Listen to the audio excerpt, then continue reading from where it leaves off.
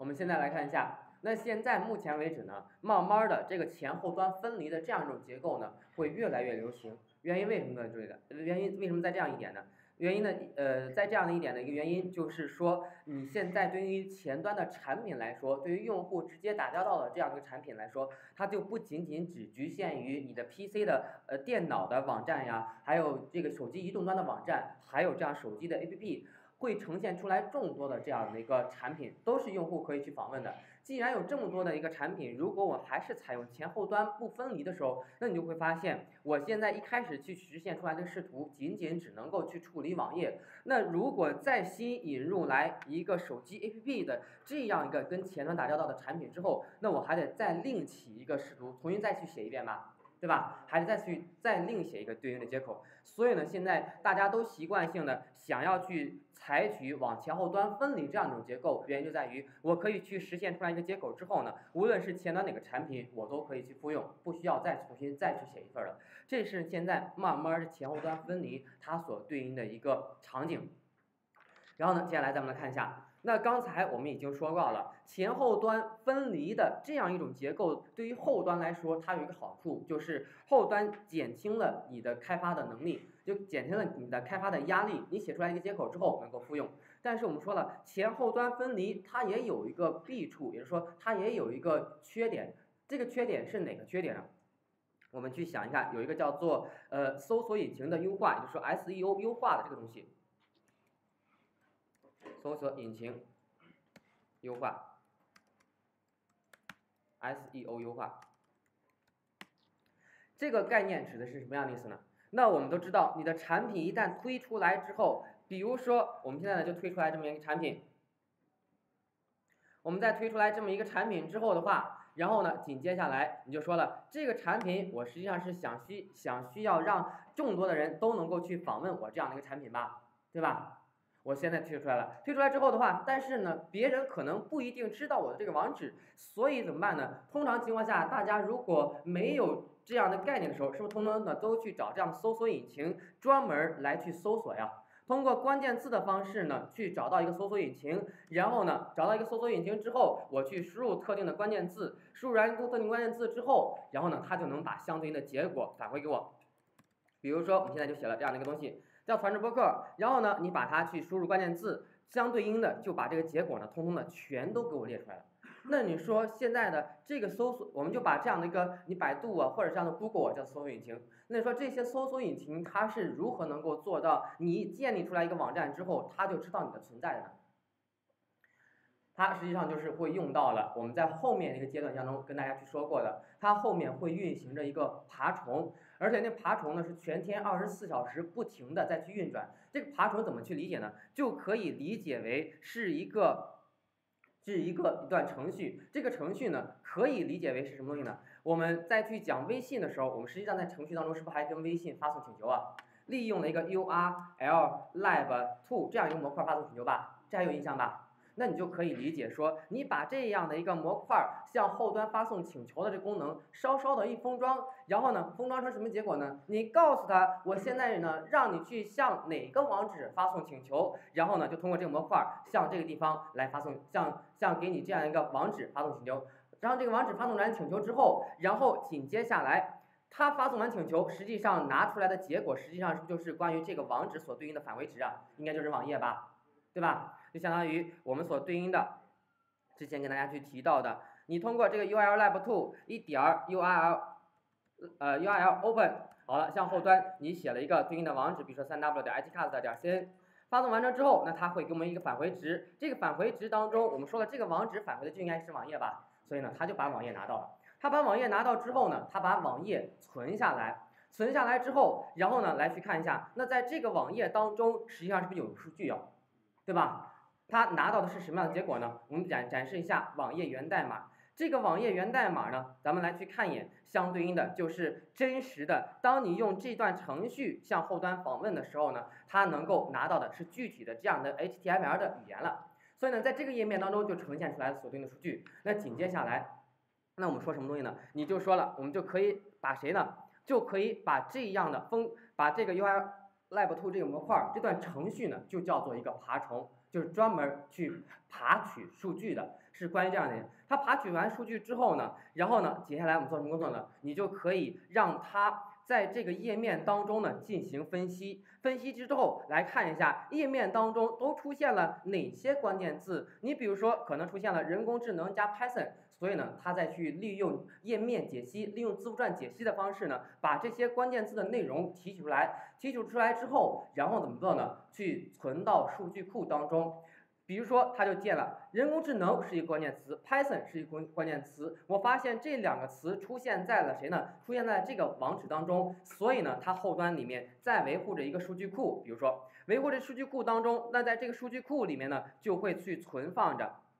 相对应的了，比如说存在了一个 k k 的这个关键词，然后呢这里面有什么东西呢？发现里面有 Python，好了就把 Python 存下来，然后呢这个 k 出现在哪个网址当中呢？这个 k 出现在一个网址 URL 是哪个网址呢？刚才我刚刚去解析到的，是这个 3w 点 itcast 点 cn，所以就把它存下来了。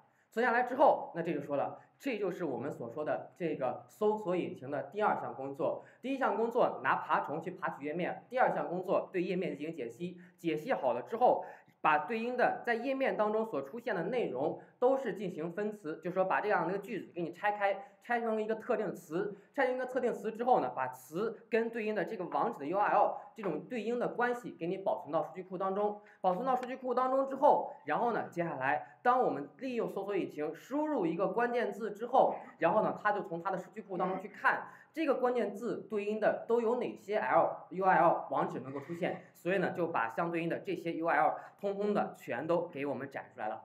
这就是我们所说的搜索引擎它所对应的工作过程，大家能明白这个意思吗？他做的就是这样的过程。然后呢，那我们在后面的这个阶段，大家去学习的时候呢，学习的是哪个东西呢？学习的就是爬虫，也就是说是如何利用这样的工具去爬取这样的一个页面。而且你发现这个页面的话，既然是二十四小时不停的运转，你不可能自己每时每刻的都给它去先呃就就去完全控制这个这个程序。我先让你爬哪个网址，再爬哪个网址，再爬哪个网址吧，而是说是不是得做成自动化的方式啊？你先爬一个网址，爬完一个网址之后，然后呢，发现这个网页当中还有这么多的网址是可以有内容的，所以呢，再通过对应的工具，你把这些网址抽出来，然后呢，让它自动化的再去向这些网址发送求拿页面，这就是一个爬虫了。这是我们在后端阶段去做的一个工作。所以呢，大家现在有这个样印象。那我们这个印象的一个原因就在于需要大家理解，就是搜索引擎当中离不开爬虫，然后呢，也离不开刚才我们所说的建立起来的那个索引了。那在这个过程当中，我们对应于前后端分离跟前后端不分离，就有一个对应的不同效果。一个什么样的不同效果呢？那你去想一下，比如说前后端不分离，前后端不分离的时候，按照刚才我们所说，你现在对于后端来说有一个这样的网址吧。就相当于这个网址呢，是让别人访问的时候，哪怕是爬虫访问的时候，也是访问的是斜线 index，这是一个入口网址，也就是说最第一个访问的网址。访问这个网址之后，如果采用前后端不分离，那你说这时候拿到的一个结果是什么样的结果？是后端已经渲染好的网页吧？而且我们强调的是后端已经渲染过，渲染过的意思就是说里面是不是已经把数据塞进去了？塞进去之后完成那个东西，那也就意味着说，你前端当中拿出来的这样的一个页面里面，是不是已经完全包含了所有要的数据啊？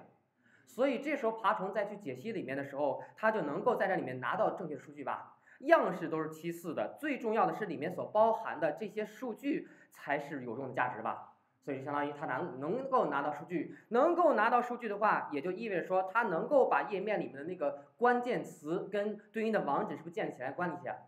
然后你在输入关键词的时候呢，它就能够给你提供这样网址了。但是你现在回过头来，我们说了前后端不分离，呃，不是前后端分离了。前后端分离之后，我让你前端访问的时候呢，你的网址还是斜，还是这么一个网址，但是这个网址所对应的可就不是后端填充数据的结果了，而是就对应的普通的一个页面斜线 index 点 html 吧。对吧？是这样的东西。这个斜线 index.html，我刚才我们已经说过了，它里面没有数据。然后呢，什么时候有数据呢？是这个页面被加载到浏览器当中，你执行 GS 脚本的时候，你把 GS 脚本运行起来，然后呢，通过发送阿贾克斯方式，才能向后端拿数据。拿完数据之后，这时候呢，才有了数据。所以就相当于第一次请求的时候呢，是没有任何数据的。那你说没有任何数据，他拿到这个东西，对于这个搜索引擎的爬虫有意义吗？是不是没有任何意义啊？所以我们说了，你采用前后端不分呃前后端分离的时候，如果你现在前端对应的这样的一个呃产品还是采用这样的结构的话，就可能对 S U 优化来说并不友好。这 S U 优化的意思就是说我如何在页面当中填充关键字，让浏览器让这个搜索引擎爬虫爬取之后呢，能够把我的这样的一个网站的排名往前放，就相当于它所对应的。就相当于在这搜索的结果当中，这个关键词跟我的这个网址的一个呃贴合度更紧密，是比别人的这样的应对应关系更呃更重要，往前放，这是我们所说的这样的一个呃 SEO 优化了。所以就相当于，如果你采用前后端分离之后的话，你前端爬虫拿到数据之后，里面连关键词都没有，谈何去谈这个搜索引擎优化？是不是根本没有任何意义啊？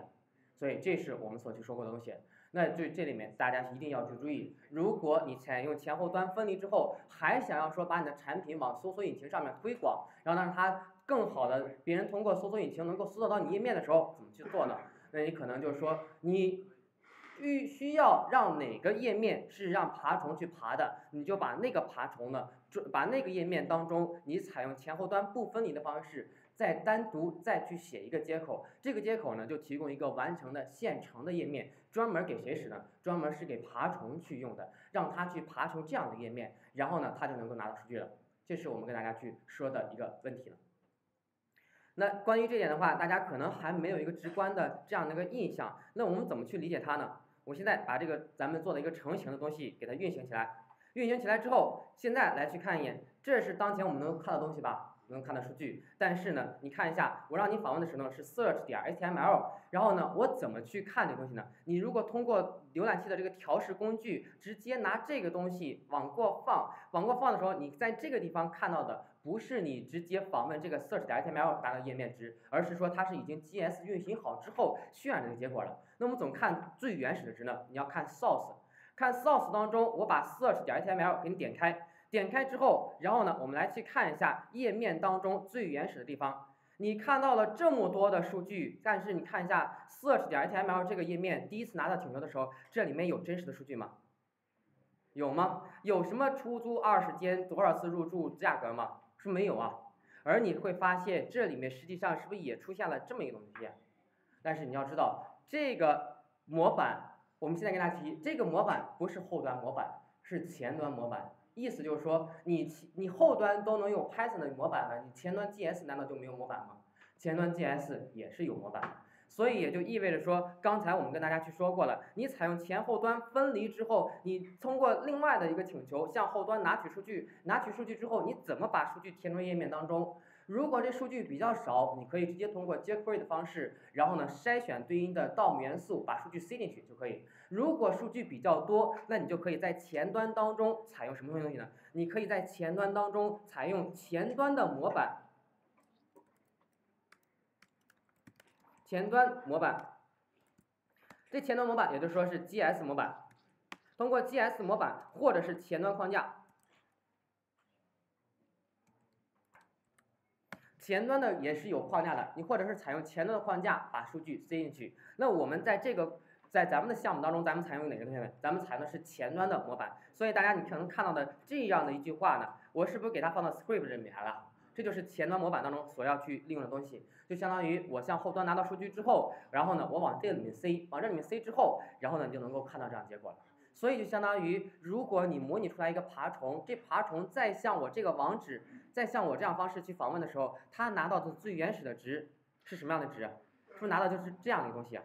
那你我们就可以把这样的东西叫做一个前端页面的骨架了，里面只有架子，只有搭起来了在哪个地方放什么东西，但是这个东西的具体内容却是没有的，除非它能够自己去运行 GS 方式，才能够把数据拿回来。这是关于这样一点。